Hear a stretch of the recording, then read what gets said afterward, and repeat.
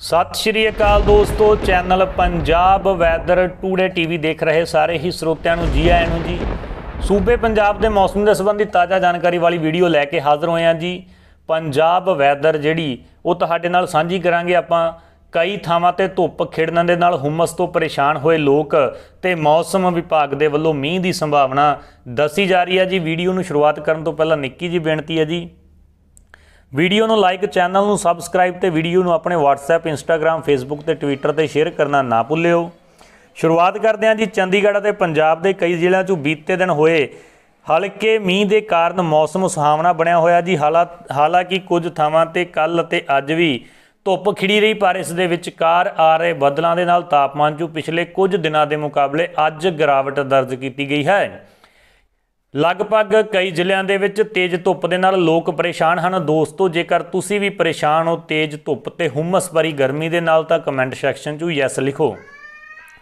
ਮੌਸਮ ਵਿਭਾਗ ਦੇ ਨਿਰਦੇਸ਼ਕ ਸੁਰਿੰਦਰਪਾਲ ਨੇ ਦੱਸਿਆ ਹੈ ਕਿ ਮੌਸਮ ਵਿਭਾਗ ਦੁਆਰਾ ਮਿਲੀ ਜਾਣਕਾਰੀ ਦੇ ਅਨੁਸਾਰ ਜਿਹੜਾ ਮਾਨਸੂਨ ਆ, ਉਹ ਐਕਟਿਵ ਆ ਤੇ ਸ਼ਾਮ ਦੇ ਤੱਕ ਸੂਬੇ ਪੰਜਾਬ ਦੇ ਵਿੱਚ ਕਿਤੇ ਨਾ ਕਿਤੇ ਜਿਹੜਾ ਮੀਂਹ ਪੈਣ ਦੀ ਸੰਭਾਵਨਾ ਬਣੀ ਹੋਈ ਹੈ।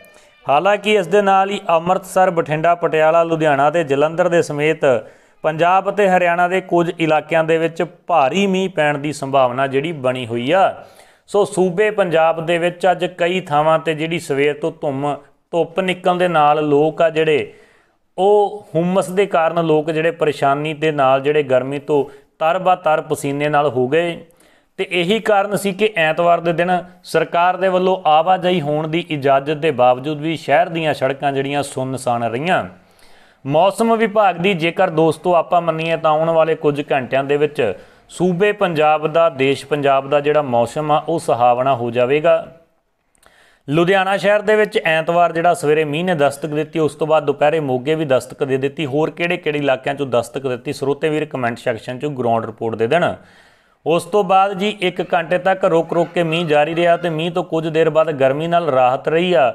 ਪਰ ਜਿਵੇਂ ਹੀ ਮੀਂਹ ਬੰਦ ਹੋਇਆ, ਫਿਰ ਤੋਂ ਧੁੱਪ ਨਿਕਲਣ ਦੇ ਨਾਲ ਅੱਜ ਸਵੇਰੇ 9:30 ਵਜੇ ਤੋਂ ਹੀ ਜਿਹੜੀ ਧੁੱਪ ਖਿੜਨੀ ਸ਼ੁਰੂ ਹੋ ਗਈ ਤੇ ਹਾਲਾਂਕਿ ਹਲਕੇ ਜਿਹੜੇ ਬੱਦਲ ਬਾਅਦ ਦੇ ਵਿੱਚ ਬਣਦੇ ਰਹੇ, ਜਿਸ ਦੇ ਕਾਰਨ ਕਿਤੇ ਨਾ ਕਿਤੇ ਲੋਕਾਂ ਨੂੰ ਬੱਦਲਾਂ ਦੇ ਟਾਈਮ ਰਾਹਤ ਅਤੇ ਧੁੱਪ ਦੇ ਟਾਈਮ ਗਰਮੀ ਤੇ ਹੁਮਸ ਭਰੀ ਪਸੀਨੇ ਨੇ ਜਿਹੜਾ ਤਰਬਾ-ਤਰ ਕਰ ਦਿੱਤਾ।